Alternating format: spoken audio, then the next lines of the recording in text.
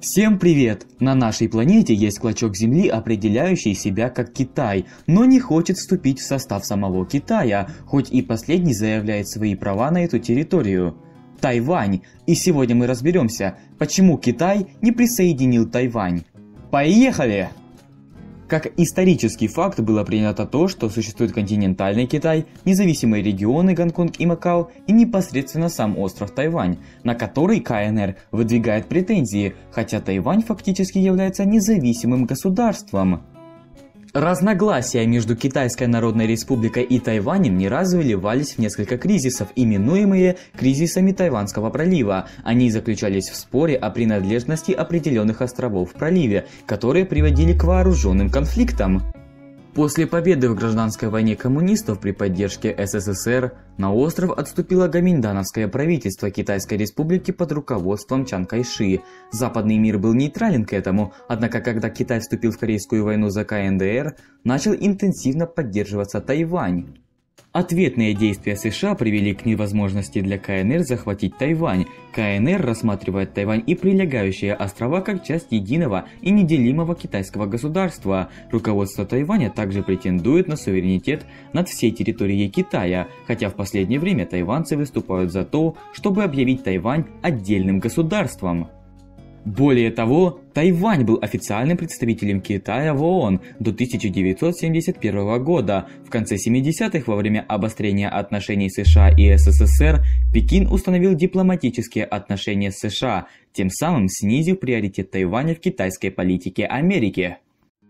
В 1992 году, наладив отношения с США и встав на путь рыночных реформ, Китай начал с Тайванем переговоры о мирном воссоединении, но 11 июля 1999 они были прерваны после того, как тайванский президент Ли Дэн Хуэй объявил, что КНР и Тайвань – это две страны по обе стороны Тайваньского пролива.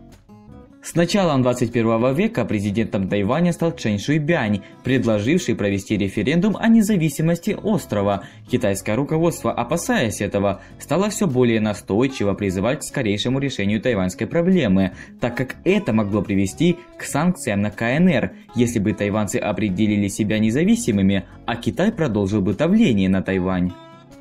Всекитайское собрание народных представителей ВСНП одобрило закон о противодействии расколу страны. Предусматривается право КНР применить немирные или же другие необходимые меры для защиты своего суверенитета и территориальной целостности в случае попытки подрывных элементов, выступающих за независимость Тайваня.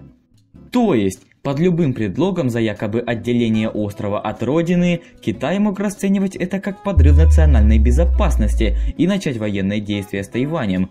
Удобная тактика, скажу я вам.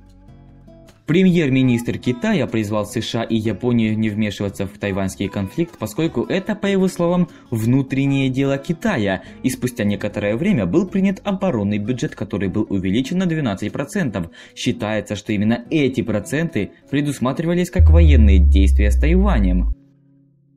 Так почему Китай не захватил Тайвань? КНР может спокойно начать операцию по присоединению Тайваня, однако это сдерживается силой международного сообщества, и я считаю, что Китай действует достаточно целесообразно в данном вопросе, постепенно пытаясь подчинить Тайвань. Но я не поддерживаю само мнение Китая, что Тайвань должен быть в составе КНР, ну а в принципе это дело самого Китая и Тайваня, поэтому... Ну а на этом все. Пишите, какая страна лучше, Китай или Тайвань. Также ищите пасхалку в видео и комментарий с объяснением и тайм-кодом я закреплю. Также, пожалуйста, не забудьте тыкнуть лайк. Спасибо. До скорого!